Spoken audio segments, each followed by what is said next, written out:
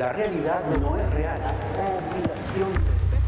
Según un estudio realizado ahora también, los hombres cuidan mucho su aspecto físico. Son cada vez más coquetos. ¿de dónde viene el término metrosexual y qué significa específicamente? Sí, te cuento. El término surgió hace muchos años y básicamente es una mezcla entre lo que es el hombre heterosexual, muchas veces que es un, un hombre que no es homosexual, que está inclinado por el sexo opuesto, y el hombre metropolitano. ¿Por qué? Porque vive en la ciudad, es un hombre urbano. 47 semanas de su vida pasa cada alemán ante el espejo. Ya no son los italianos los más presumidos. La elegancia de Maldini se encoge frente a germanos 20... Parecería que uno mismo es el único evidente merecedor del agasajo, el único que está a la altura del esfuerzo celebratorio, el único objeto verdaderamente justo para esa complejísima máquina de cautivar.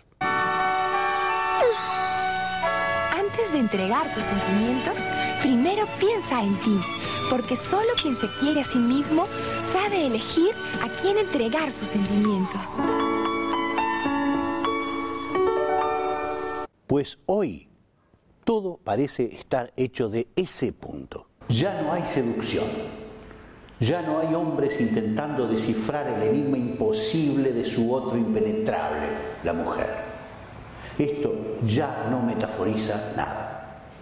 El hombre objeto cocina, se preocupa por el aspecto y la ropa, prepara la mesa, sabe de vinos, como el nuevo uruguayo, no tiene panza, no ronca, es amable y atento, se cuida sin ser neurótico, no es estresado, parece respirar siempre el aire más distendido de la vida.